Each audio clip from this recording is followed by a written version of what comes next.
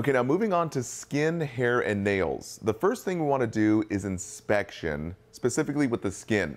We're looking, number one, for color. So this includes cyanosis, pallor or pallor, even jaundice and erythema, which is basically that redness of the skin. Now we're going to get into specifics of this, but let's just do a general overview. For general inspection, we're just seeing if both sides are basically symmetrical. So does the right match the left? And we're using the body as its own control. So we're looking for general pigmentation that is uniform throughout the body. That matches the client's genetics as well. So the real big question is, does their skin color match their ethnicity? And we're looking for dark or bright spots if it doesn't. So typically somewhere in between your mom and dad's skin tone is something we're looking with the client.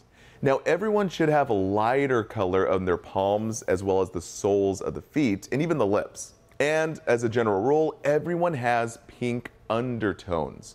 So it shows good circulation and good oxygenation. And usually we find that in the lips right there.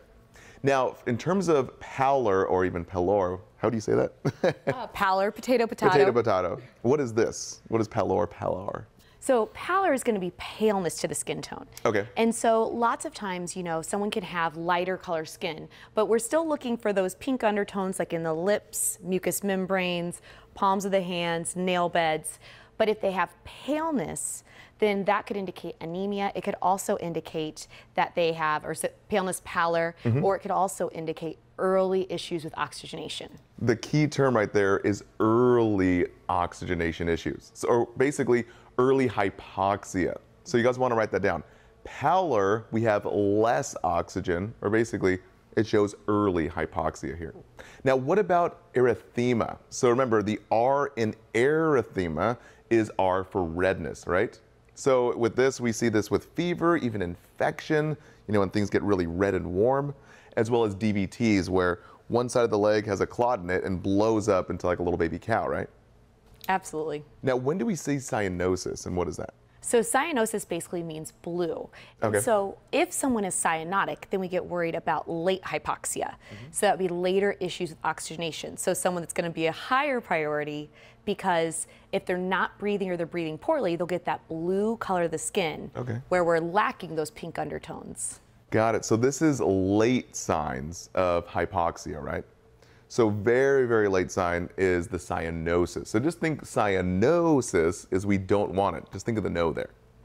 Now, if someone has darker skin tones, then we say it's ashen gray. And a lot of darker skinned individuals won't typically look blue or basically cyanotic.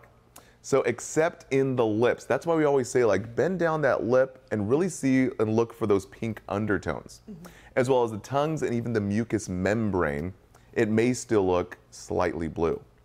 Hey there, nursing student, listen up. Did you know only 20% of our videos are here on YouTube? You're missing out on over 900 videos not on YouTube, plus 500 visual study guides that follow along every video, and a massive quiz bank to test your knowledge. All neatly organized in our new app.